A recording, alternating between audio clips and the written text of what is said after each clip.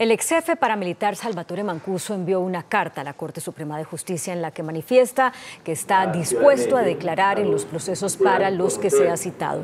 Mancuso aclaró que a través de medios de comunicación se enteró de que ha sido citado para declarar en algunas investigaciones que le adelanta la sala de instrucción, pero que ni él ni su abogado han sido notificados de esto. Se espera que en los próximos días Mancuso declare en el caso contra el senador Álvaro Uribe por presunta manipulación de testigos. my